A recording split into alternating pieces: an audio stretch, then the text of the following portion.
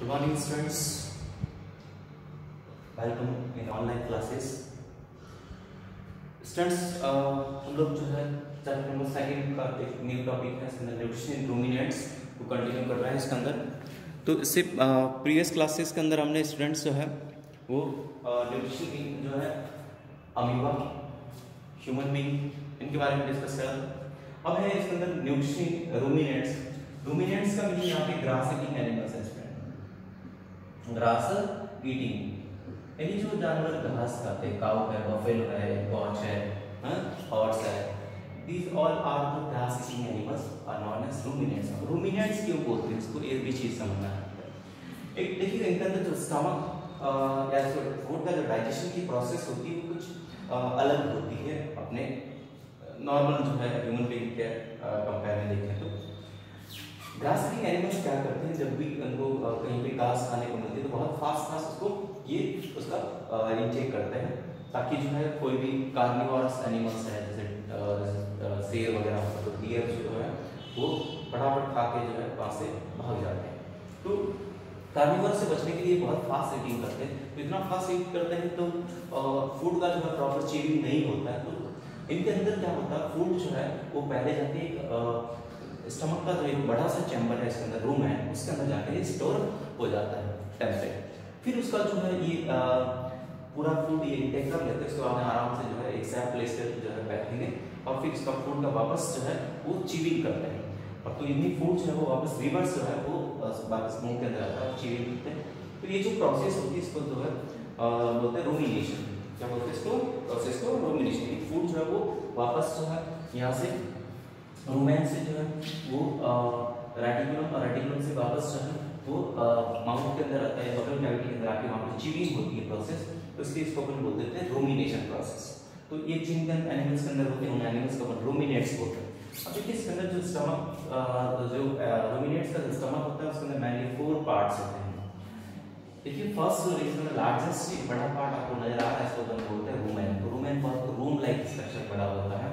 ये largest part है. तो फ़ूड जो आएगा, सबसे पहले वो इंटेक करेगा यहाँ पे रूमेन के अंदर. आएगा, ठीक है? यहाँ पे स्टोर हो जाता है फिर ये जो फ़ूड है, ये पूरा इंटेक कर लेते फिर ये बैठ जाते हैं। फ़ूड फिर यहाँ पे जो है, जब खाना बंद कर देते तो ये फ़ूड जो है, यहाँ से कुछ फ़ूड जो है, इधर ट्रांसफ़र होता है और यहाँ से ये वापस ये वापस बबल कैविटी में भेजते हैं। और वहाँ से ये फिर जो है इसका वापस चीविंग करते हैं और चीविंग जो फ़ूड है इसको हम कट बोलते हैं अंदर ठीक है तो पहले जो आए ऐसे चीविंग उसको कट ये वापस जो है, कट को अपना बकल कैविटी के अंदर देखते हैं, फिर से उसका चीविंग है ग्राइंडिंग होता है। उसके बाद में जो देखिएगा इसके जो स्टमक का जो फ़र्स्ट और second channel first channel rumen है सेकंड चैनल रेटिकुलम है। तो फ़ूड जब वापस रिटर्न आता है री चीविंग होने के बाद, वापस चबाने के बाद फिर फ़र्स्ट और सेकंड चैम्बर को बाईपास करता है फ़ूड डायरेक्ट एंटर करता है थर्ड चैम्बर तो थर्ड चैम्बर है स्टमक के अंदर अमेशम तो अमेशम पार्ट के अंदर ये आता है फ़ूड और यहाँ पे जो है, इसके अंदर डाइजेशन होगा ब्रेकडाउन होगा फ़ूड का एंजाइम्स के थ्रू देन एंटर करेगा फोर्थ चैम्बर एबोमेशन तो यहाँ पे जो है फाइनली फ़ूड का एंजाइम्स के थ्रू जो है यहाँ पे डाइजेशन देखने को मिलता है इसके अंदर, ठीक है?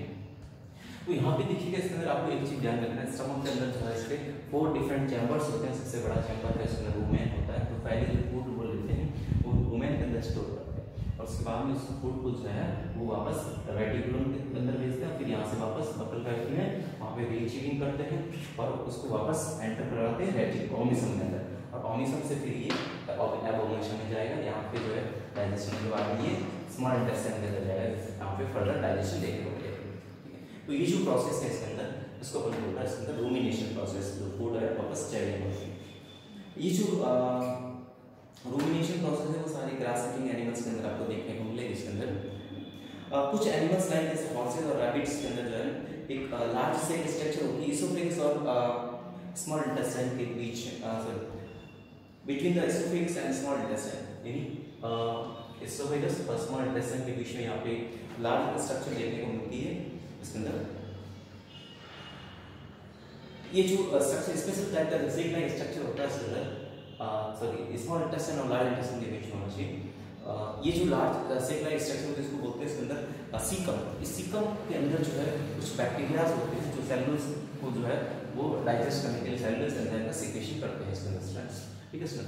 तो ये तो था इसके अंदर nutrition in the ruminants ruminants के अंदर कैसे फ़ूड का है डाइजेशन देखने को मिलता है इसके अंदर। ओके नेक्स्ट इसके अंदर हम बात करें आपके तो ये चैप्टर का जो लास्ट टॉपिक था आपका, इसके अंदर nutrition in the ruminants next आपका जो चैप्टर के अंदर जो एक्सरसाइज है, उस एक्सरसाइज के अपन क्वेश्चन आंसर्स जो है, वो कंप्लीट करने हैं इसके अंदर आपके ओके तो ये क्वेश्चन आंसर्स एक्सरसाइज के जो क्वेश्चन आंसर्स है, वो मैं आपको जो है कुछ शॉर्ट आंसर है तो उसको मैं राइट डाउन करके भेजूँगा, या फिर जो है लॉन्ग आंसर होगा तो उसको मैं बुक के अंदर आपको टिक करके उसका पिक्चर सेंड करूँगा ओके सारे स्टूडेंट्स जो है अपने नोट्स को सॉरी क्वेश्चन आंसर्स को अपने सेपरेट नोटबुक के अंदर राइट डाउन करेंगे, ठीक है? और नीट हैंड राइटिंग के अंदर इसको राइट डाउन करके इसमें कंप्लीट वर्क करके मेरे को सेंड करोगे ठीक है?